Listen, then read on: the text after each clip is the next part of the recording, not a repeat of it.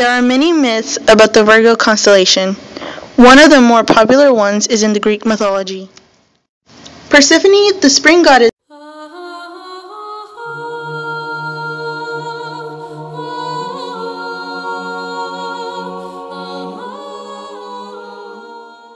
was taken by Hades, god of the underworld.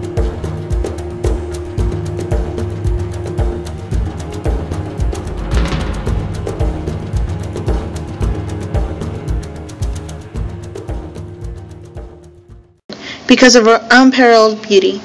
Her mother, Demeter, goddess of the harvest, was so upset when she found out that she abandoned her duties to the harvest, which caused all the crops to wither and die. Upon hearing this, Zeus ordered Hades to release Persephone for the months of March to August to be with her mother, and for the other month she has to stay with Hades in the underworld. This is why the Virgo constellation only appears in the spring months.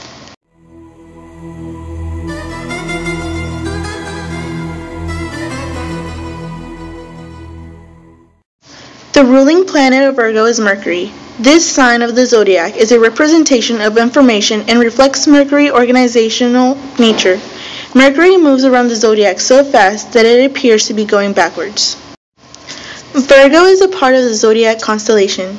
It is the sixth constellation and also largest in the group. People born August 23rd through the September 22nd are considered to be Virgos.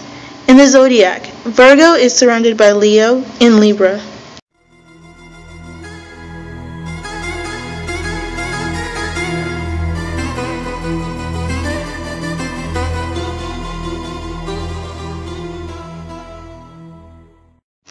Spica is the brightest star in the constellation Virgo, the 15th brightest star in the nighttime sky, and it is 260 light years away from Earth. Porrima, also known as Gamma Virginis, is a binary star. It consists of two stars with the same apparent magnitude, and it is 39 light-years away from the Sun. Vindemiatrix, also known as Epsilon Virginis, is a giant star with a stellar classification of G83. It is 109 light-years away from the Earth.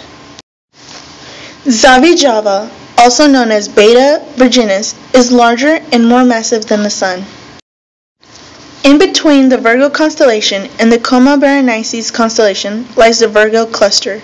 There are about 2,000 galaxies inside the cluster.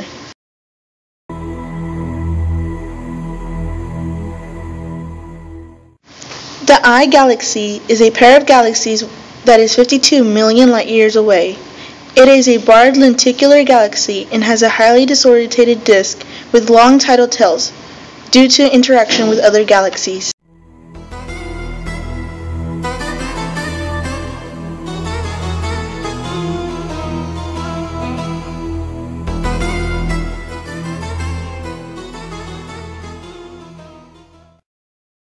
The Siamese twins, also known as butterfly galaxies, are a set of spiral galaxies about 60 million light-years away. These galaxies are in the process of colliding and merging with each other, which is where their name comes from.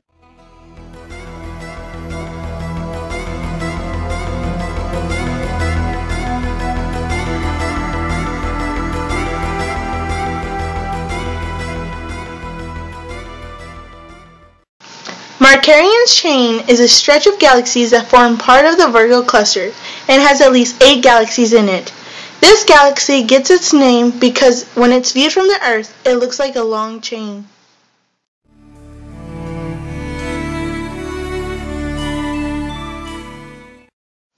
Messier 49 is the brightest galaxy in the Virgo cluster and the first galaxy to be discovered within the cluster. It is an elliptical galaxy that contains 5,900 clusters and is believed to be 10 billion years old. This galaxy is believed to have a supermassive black hole with 565 million solar masses at its core. Messier 58 is a bar spiral galaxy. It belongs in the Virgo cluster and is one of the brightest galaxies in it. It is discovered in April 1779 by Charles Messier. Messier 84 is a lenticular galaxy located near the inner core of the Virgo cluster. It has a disk of fast-rotating stars, which means that it likely contains a supermassive black hole at the center.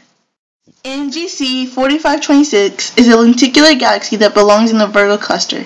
The galaxy has a visual magnitude of 10.7 and is about 55 million light-years away.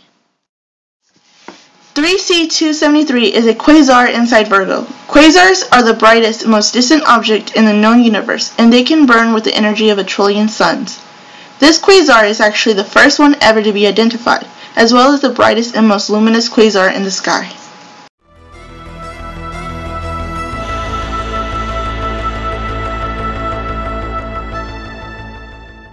The Sombrero Galaxy is an unbarred spiral galaxy in the constellation Virgo, located 28 million light-years away from Earth. It has a bright nucleus and a prominent dust lane in its inclined disk. The dark dust lane in the bulge gives the galaxy the appearance of a sombrero. The galaxy's most prominent feature is the dust lane that surrounds the center. Most of the cold atomic hydrogen gas in the dust lies within the ring.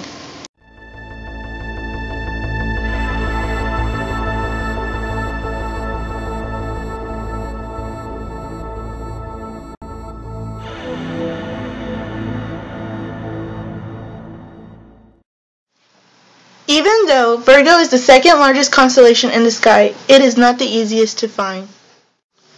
The easiest way to find Virgo is to use the Big Dipper. If you use a star at the end of the handle of the Big Dipper, it points to the star Arcturus. Arcturus can then be used to locate Spica.